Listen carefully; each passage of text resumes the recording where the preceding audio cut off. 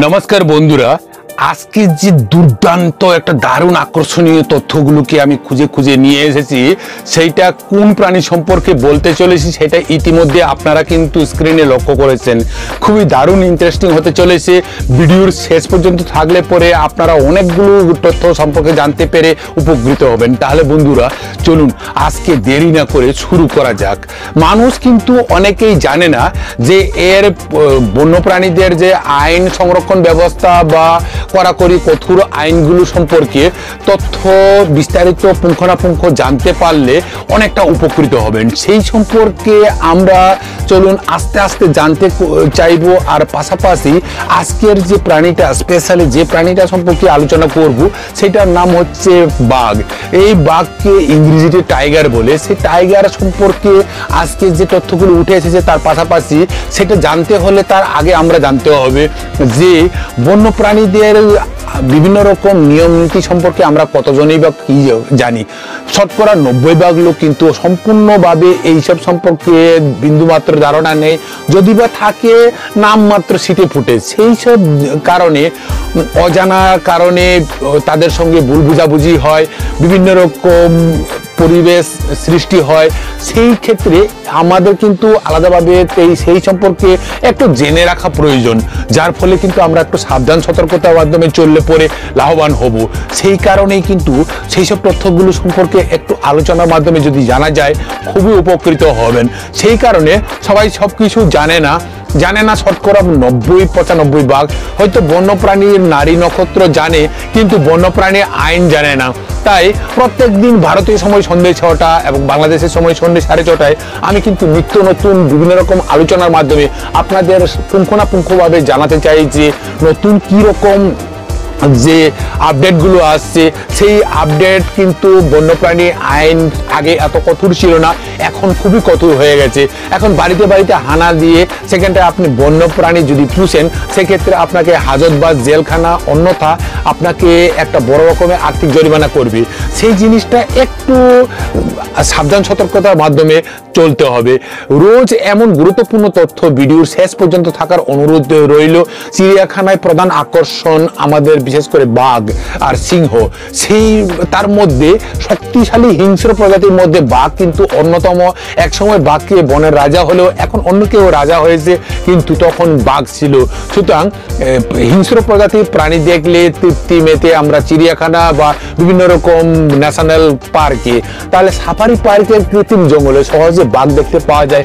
এমন ঘটনা কিন্তু সহজ নয়। দক্ষিণ আমেরিকা থেকে আনা যে বাঘগুলো, সেইটা বিভিন্ন রকম যত্নের অভাবে বেশিরভাগ অকালে মারা গেলেও আমাজন কিংবা সুন্দরবনের যে বাঘগুলো রয়েছে, তারা কিন্তু সুস্থ সবলভাবেই, বেশ হৃষ্টপুষ্টভাবেই উপযুক্ত জায়গায় তারা রয়েছে। সেখানে ভালোভাবে তাদের থাকার উপযুক্ত পরিবেশ রয়েছে। শিকারীরা যেন সেখানে অবাধে অন্য কিছু ক্ষতি না করতে পারে, বাঘের সংখ্যা যেন না কমে, সেই নিয়ে অনেক সচেতন। ওখানে শক্তিশালী দেখতে বড় এই বাঘগুলোর দাপট প্রচণ্ড বেশি হয়ে থাকে। জীববিজ্ঞানী গবেষকরা হাজার পরীক্ষায় সফলতা পেলেই সবার উপরে সেটাকে প্রয়োগ করার জন্য সেইটা বারবার হাজারবার পরীক্ষা নিরীক্ষার মাধ্যমে কঠিন সিদ্ধান্তে উপনীত হয়ে সেইটাকে প্রয়োগ করে এবং শেষ পর্যন্ত সফলতা পায় এবং সেটা প্রয়োগ করেও লাভবান হয়। বন্ধুরা, আমার এই ভিডিওটা ঠিক নিচে অল্প ডান দিকে দেখুন, ছোট্ট করে মোর লেখা আছে। ওই মোর অপশানে টাচ করলে আপনি আমার সম্পর্কে এবং আমার ইউটিউব চ্যানেল সম্পর্কে বিস্তারিত ধারণার পাশাপাশি আমার ব্যক্তিগত জীবন সম্পর্কেও কিন্তু ওখানে দেওয়া রয়েছে। প্লাস পাশাপাশি আমার জীবনে আমি যে আড়াইশো তিনশো খানা ভিডিও বানিয়েছি, তার মধ্যে থেকে সেরা তিনটে ভিডিওর লিঙ্ক কিন্তু আমি ওখানে দিয়ে রেখেছি। সেই তিনটে ভিডিওর লিঙ্কের মধ্যে যে কোনো একটাতে টাচ করে ভিডিও দেখে যদি আপনার ভালো লাগে, তাহলে এই ভিডিওটা ঠিক নিচ্ছে তীর চিহ্ন মতো শেয়ার বটনের মাধ্যমে। আপনি আপনার বন্ধু বান্ধব এবং আত্মীয় স্বজনকে পাঠাতে ভুলবেন না, যার ফলে কিন্তু তারাও উপকৃত হবেন প্রত্যেক দিন ভারতীয় সময় সন্ধ্যে ছটা এবং বাংলাদেশের মতো সন্ধ্যে সন্ধ্যা সাড়ে ছটায় নতুন নতুন ভিডিওগুলোর আপডেটগুলো পেয়ে তারাও উপকৃত হবেন এবং আপনাকে থ্যাংক ইউ বলবেন। সুতরাং বন্ধু, এইরকম নতুন আপডেট পেতে আপনি যদি আমার চ্যানেলে নতুন হয়ে থাকেন, তাহলে দয়া করে এই ভিডিওটা ঠিক নিচ্ছে অল্প ডান দিকে দেখুন সাবস্ক্রাইব বাটন রয়েছে। সেই সাবস্ক্রাইব বাটনে টাচ করে পাশের ঘণ্টা চিহ্নটাকে একটু টং করে বাজিয়ে দিয়ে আমার পাশে থাকুন প্রত্যেক দিন ভারতীয় সময় সন্ধ্যে ছটা এবং বাংলাদেশের সময় সন্ধ্যে সাড়ে ছটা নতুন ভিডিও আপডেট পাওয়ার জন্য। বন্য প্রাণী সম্পর্কে আরও খুঁটিনাটি তথ্যগুলো নিয়ে এসে আরও ভালো ভালো ভিডিও বানিয়ে আপনাদের সাথে উপহার দেওয়ার জন্য আমি তৈরি প্রতিজ্ঞাবদ্ধ। সুতরাং আপনি একটু ফ্রি অফ কোর্স লাইক দিয়ে একটু শেয়ার করে আমার সাথে থাকলে পরে ভিডিওটা তাড়াতাড়ি গ্রো হবে এবং আমিও ভালো ভালো উৎসাহ পাবো নতুন ভিডিও আনার জন্য। তাহলে বন্ধুরা, বাজে কথা কম বলে চলুন, কাজের কথা আলোচনা করে ভিডিওটা শেষ করব। তার আগে আমি বলছি, আমি অবাঙালি। আমার এই বাংলা ভাষায় ভিডিও বানাতে গিয়ে কিন্তু ছোটখাটো ভুল ভ্রান্তি হচ্ছে, এটা আমি পরিষ্কার বুঝতে পারছি। কিন্তু ঠিক কোন জায়গাটা ভুল হচ্ছে সেটা ঠিক বুঝতে পারছি না।